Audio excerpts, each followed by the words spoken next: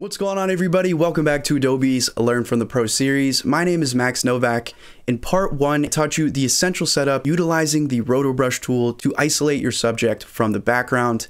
In part two, we talked all about adding smooth motion by utilizing simple keyframes and motion blur within After Effects. And today we're gonna build on that by adding some animated logos behind our RotoBrush layer. Let's go ahead and hop right into After Effects to get started. So let's go back to Project and then we're going to create a new composition here by clicking this button and let's name that logo. And as an example here, I'm just going to use the After Effects logo because that's what we're working in. Of course, you guys can use your own logos, or if you are using Google Images, if you click this Tools button, you can go to Usage Rights, search by Creative Commons, which is very useful. You can go to Color, search by Transparent if you want to find some transparent background PNGs. I'm going to right click on this, save image as. So once you guys have imported your logo, go ahead and drag that into your new composition. And I'm going to show you some cool tricks that you can use to take this normal image and add animation, make it vibrant, make it pop out. So first, what we're going to do here, we're going to select our logo layer here. Next, we're going to go up to layer and we're going to go to auto trace. First, let's set the channel to alpha and you can see my settings here for tolerance, threshold. Go ahead and click OK and that's going to create a mask around the outside. So pretty useful. Let's also create a mask for the inside. So go up to layer auto trace again. And this time let's change the channel to luminance and click OK. We now have an easy mask around the letters. So now that we have all of this masked out completely, just with a few clicks, we're going to go over to our effects and presets and I'm going to search for the stroke effect under generate. So take that and place it on your logo.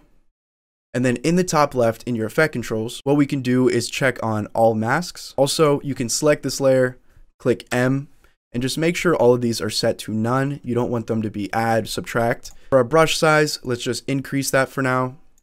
And then paint style, let's go ahead and click on transparent. So if I toggle the transparency, you can see we now have an easy outline of our logo. So pretty simple. You can also put it to reveal original image if you want to keep some of those colors in there and then we'll just increase the brush size. So just like that, we have a little cutout of our logo. So let's go back to our tutorial composition. Let's grab that logo composition we just set up and just drag that in a layer beneath our rotoscoped layer.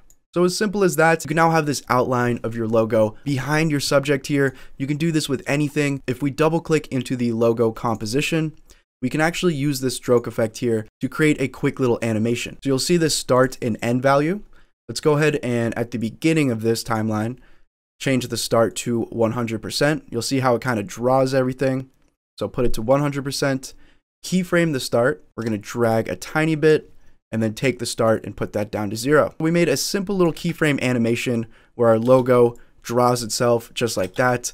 Really cool. Go back into our tutorial comp see what that looks like. Let's start the logo right around here. You guys can see how our logo sort of builds out right behind our subject. We're gonna go ahead and open up the transform for that layer. Click down and keyframe, and we're just gonna add a tiny bit of position keyframes so that that stays centered behind our subject as the camera moves.